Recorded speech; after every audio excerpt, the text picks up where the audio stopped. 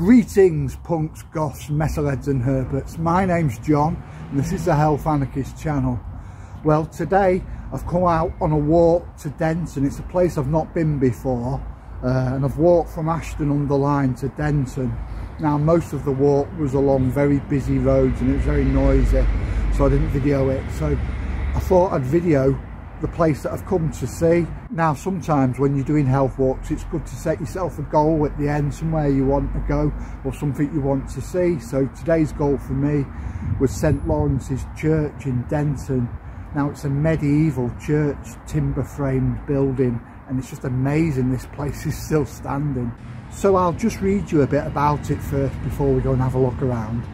St Lawrence's Church in Denton is a timber framed church and grade 2 listed building. It is one of only 29 timber frame churches and chapels in England. The chapelry of Denton was established in 1531 with the construction of the Chapel of Ease which was a bit like a halfway house or a house of rest. Then Roman Catholic in the Diocese of Lichfield and dedicated to St James.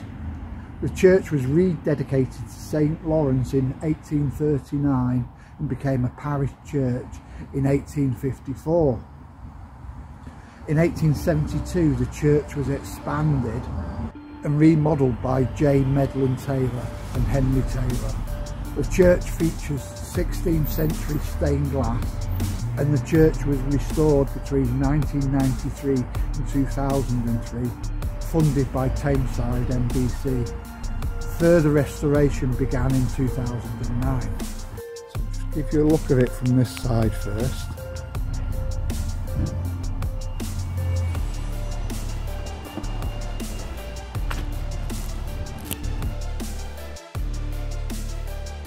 Closer look this old timber work, as you can see it's timber and pegs.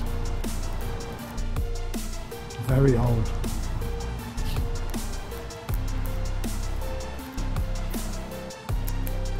Also we've got this really old stained glass. There's actually lots of graves set into the uh, flags. Uh, I'll have a look at any interesting ones as we go around.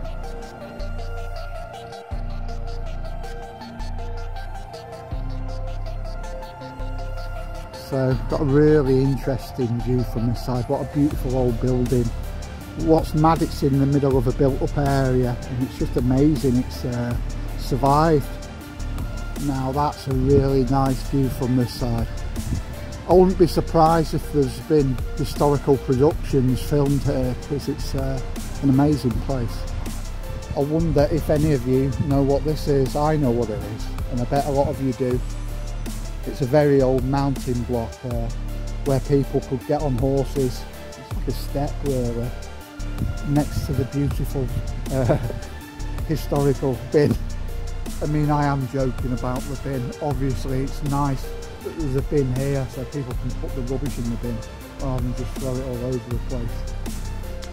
Just had a couple of lads uh, talking to me, asking me if I'd do a vlog. I said, yeah. So I just include them in for a minute because they wanted me to add them. And uh, yeah, there you go.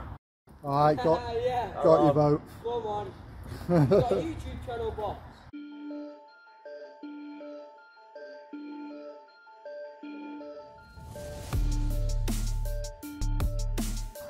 Now a lot of the graves are really weather worn and hardly legible so I've not uh, took photographs of them. Now there is one grave that I found and it's still in good condition and uh, I'm not going to lie this is the grave that I really wanted to see more than any others and I'm sure some of you will love it too. Now walking up to it, now that is the coolest grave I've seen. Wow, I love it.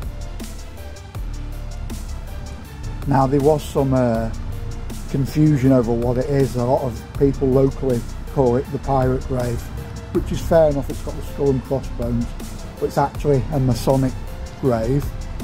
Now if you look in the corners, you've got the Masonic symbols and it's been researched it is actually a Masonic grave. But what a cool looking grave.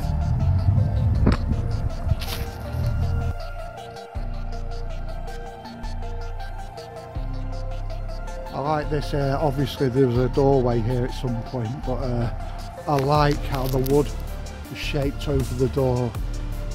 I like that. So, so far, it's a really cool place. I'm just amazed it exists. And uh, not far from where I live really. It's definitely worth coming out for a walk and having a look at. Uh, fantastic. So yeah, this chimney is very interesting. Beautiful. And uh, looking at the bricks, I'd say they're definitely very old bricks. Old church door here. I like that. Look how uh, low this little roof is there. they do say they were small in medieval times. I'm 6'2", so yeah. So filming from this side, we've got a really nice uh, view.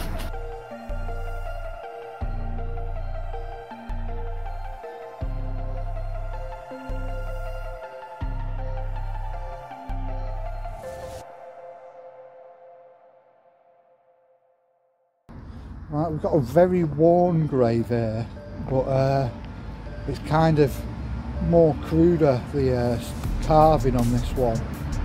It's very worn, but I can make out the date 1695, I think.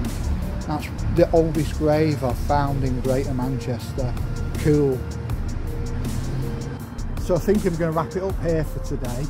Thanks for coming with me and I hope you enjoyed looking around as much as I did. If you did enjoy the video, please don't forget to give us a like and subscribe. And until the next video, keep yourselves very safe. Take care. Bye.